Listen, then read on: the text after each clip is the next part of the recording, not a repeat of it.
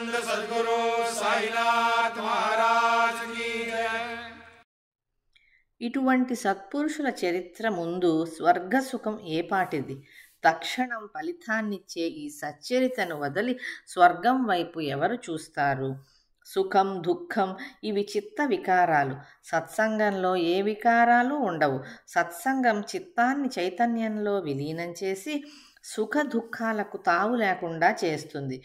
విరాయికి ఏకాంతంలో లభించే సుఖం భక్తునికి భక్తి ద్వారా లభించే సుఖం. ఇంద్రునికైనా ఏ చక్రవర్తికైనా కల్పాంతంలో కూడా లభించదు. ప్రారబ్ధ కర్మ భోగం బలవత్తరమైనది. బుద్ధి కర్మానుసారం పుడుతుంది. అయినా ఈ విధి నిర్ణయాలను భక్తుడు తప్పించుకోగలడు. భగీరథ ప్రయత్నం చేసినా ప్రారబ్ధ కర్మభోగం తప్పదు. జరగనున్నది తప్పక జరుగుతుంది. దాని నుండి తప్పించుకోవటం అశక్యం. వద్దనుకున్నా వచ్చిపడే దుఃఖం వలనే సుఖం కూడా అనుకోకుండా వస్తుంది.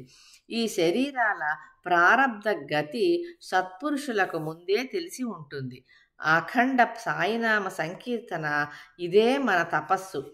వ్రతం దానం ధర్మం.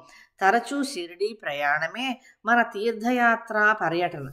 సాయిబాబాకు అనన్య శరణుజొచ్చి సాయి సాయి అని వారి నామాన్ని స్మరించటమే మంత్రానుష్ఠానం. అదే ధ్యానం అదే పురస్చరణ. వారి అందు నిష్కపటమైన ప్రేమను కలిగి ఉండటమే వారి వాస్తవమైన పూజ. అమోఘమైన వారి లీలల యొక్క అనుభవాలను అంతరంగంలో తెలుసుకోండి. ఇక బెల్లపు తయారీ చాలు.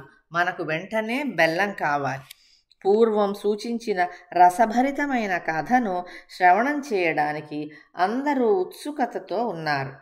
ఇటువంటి శ్రోతల శ్రద్ధను గమనించి సూచించిన కథా విశేషాన్ని వినటంలో వారి మనసు ఏకాగ్రంగా ఉండాలని నేను గ్రంథ విస్తారాన్ని తగ్గించాను.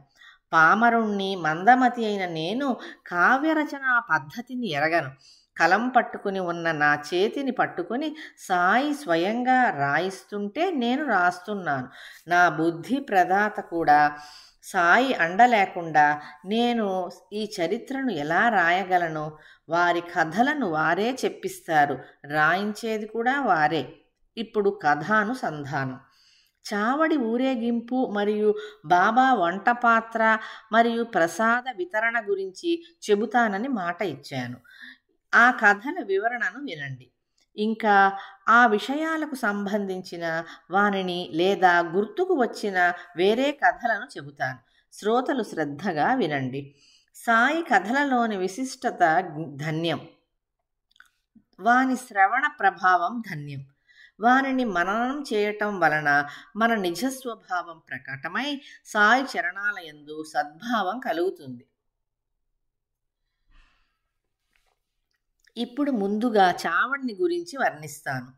బాబా నియమంగా రోజు విడిచి రోజు చావడిలో శయనించేవారు.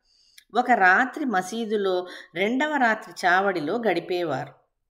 ఇలా ఈ పద్ధతిని వారు సమాధి వరకు కొనసాగించారు.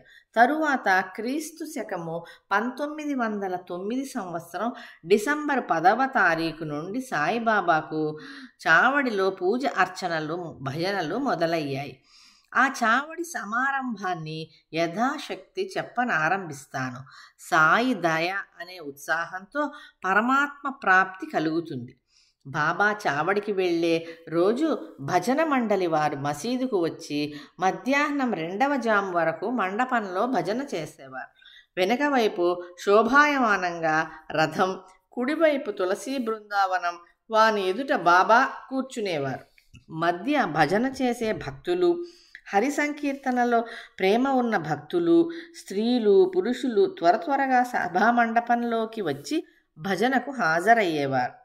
ఒకరు తాళాలు ఒకరు చిరుతలు ఒకరు మృదంగం ఒకరు ఖంజరి మోగిస్తూ పెద్ద స్వరంతో భజన చేసేవారు.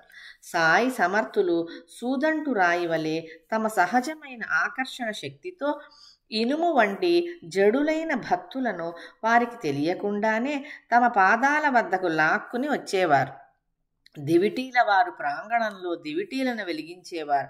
ఒకరు అక్కడే పల్లకిని అలంకరించేవారు. ద్వారం వద్ద చక్కగా ముస్తాబైన దండధారులు జయజయకారాలు చేసేవారు.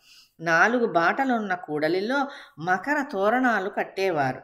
జెండాలు ఆకాశం వైపు ఎగురుతుండేవి. బాలురు కొత్త బట్టలను ధరించి ఆభరణాలను అలంకరించుకునేవారు. మసీదు పరిసరాలలో వెలుగుతున్న అనేక దీపాల వరసలు ఉండేవి. ద్వారం వద్ద బాబా గుర్రం శ్యామకర్ణ చక్కగా అలంకరింపబడి ఉండేది. ఇంతలో తాత్యా పటేలు భక్తులతో పాటు వచ్చి బాబా వద్ద కూర్చుని బాబా వెంట బయలుదేరటానికి సిద్ధంగా ఉండేవాడు. బాబా తయారుగా ఉన్న తాత్యాపాటిలు వచ్చే వరకు అతని కోసం ఎదురుచూస్తూ తమ స్థలంలోనే కూర్చుని ఉండేవారు. తాత్య బాబా చేయి పట్టుకుని లేపితేనే బాబా లేచి చావడికి బయలుదేరేవారు. తాత్య బాబాను మామా అని పిలిచేవాడు. వారిలో పరస్పరం అంతటి ప్రేమ. ఇటువంటి వారి ఆప్త ధర్మాన్ని దేనితో పోల్చలేము. బాబా రోజూ ధరించే కఫనీతో చెం చెంకలో సటకా పెట్టుకుని పొగాకును చిలుంగొట్టాన్ని తీసుకొని భుజంపై రుమాలును వేసుకొని సిద్ధంగా ఉండేవారు. తాత్య వారి శరీరంపై అందమైన జరీ అంచు సాలువాను చక్కగా తలపై కూడా ఉండేలాగా కప్పేవాడు. ఆ తరువాత బాబా వెనక ఉన్న గోడ కింద ఉన్న కర్రలను ముందు భాగాన్ని తమకు కుడికాలి బొటనవేలుతో ఒక క్షణం కదిపేవారు. అట్లే అక్కడ వెలుగుతున్న దీపాన్ని స్వయంగా కుడి చేత్తో ఆర్పివేసిన తరువాత చావడికి బయలుదేరేవారు. బాబా బయలుదేరిపోతుండగా వాద్యాలు మ్రోగేవి టపాకాయలు వెలిగేవి నలుగు దిక్కులా దివిటీలు ప్రకాశించేవి. కొందరు ధనసులా వంగి ఉన్న కొమ్ము బూరాను ఊదేవారు. కొందరు తాళాలు చిరుతలు వాయించేవారు. చెప్పట్లు కొట్టేవారు అమితంగా ఉండేవారు. తంబూరా మృదంగ నాదాలతో సాయినామ ఘోషతో భజనతో స్త్రీలు పురుషులు ప్రేమగా వరుసగా నడిచేవారు.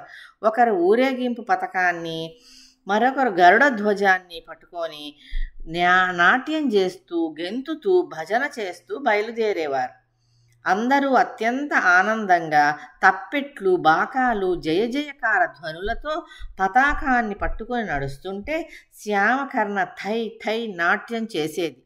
అలా వాద్యాల చప్పుళ్ళతో బాబా మసీదు నుండి బయలుదేరి మెట్ల వద్దకు చేరుకునేసరికి ద్వారపాలకులు గట్టిగా పరాకులు పలికేవారు. తాళాలు తప్పెట్లు వగైరా వాద్యాలతో భక్తులు అక్కడ ఆనందంగా భజన చేసేవారు. చేత్తో పతాకాలను పట్టుకొని భక్తులు ఆనందంగా నడుస్తుంటే బాబాకు ఇరువైపులా ఇద్దరు వింజామలను వీపనలను బీచేవారు శాలువలను దుప్పట్లను మడిచి బాబా నడిచే దారిలో పరిచి వానిపైన బాబాను చేయి పట్టుకుని నడిపించేవారు. బాపు సాహెబ్ జోగ్ బాబా శిరస్సుపై ఛత్రాన్ని పట్టుకోగా ఊరేగింపు చావడి వైపు సాగేది. కాళ్ళ గజ్జలు గలగలలాడగా స్వర్ణాభరణాలతో అలంకరింపబడిన ఎర్రటి గుర్రం శ్యామకర్ణ ముందుగా ఉండేది. దండధారులు ముందు నడుస్తూ సాయినామాన్ని ఘోషిస్తూ ఛత్రాన్ని పట్టుకునేవారు. కొందరు వింజామరలను వీచేవారు. అనేక రకాల వాద్యాలు మోగుతుండగా భక్తులు జయ జయకారాలు చేస్తూ నడిచేవారు. దండదారులు ప్రేమగా జయకారాలు చేసేవారు. హరినామాన్ని ఉచ్చరిస్తూ తాళాలు తప్పెట్లు మృదంగం మొదలగు వాద్యాల చప్పుళ్ళకు అనుగుణంగా జయకారాలు చేస్తూ నడిచేవారు. భజన చేసే భక్తులు ఆనందంగా దారిలో సాయి యొక్క జయ జయకారాలు చేస్తూ నలువైపులా దారులున్న కూడలిలో ఆగేవారు. తప్పెట్లు తాళాలు మొదలగు వాద్యాలు చాలా బాగా మోగేవి. ఒకటే సాయినామ ఘోష. ప్రేమగా సంతోషంగా భజన జరిగేది. స్త్రీలు పురుషులు వెంట నడిచేవారు. అందరూ భజనానందంలో లీనమై ఉండేవారు. వాద్యాల చప్పుళ్ళతో సాయినామ ఘోషతో ఆకాశం దద్దరిల్లేది. ఆ చప్పుళ్ళకు ఆకాశం ప్రతిధ్వనిస్తుండగా కనుల పండువగా ప్రేక్షకులను ప్రసన్నులను చేసే కమనీయమైన చావడి ఊరేగింపు అనుపమానంగా శోభిల్లుతూ ఉండేది. శ్రీ సాయి సచ్చరిత ముప్పై ఏడవ అధ్యాయం మూడవ భాగం సమాప్తం. సచిదానంద సద్గురు సాయినాథ్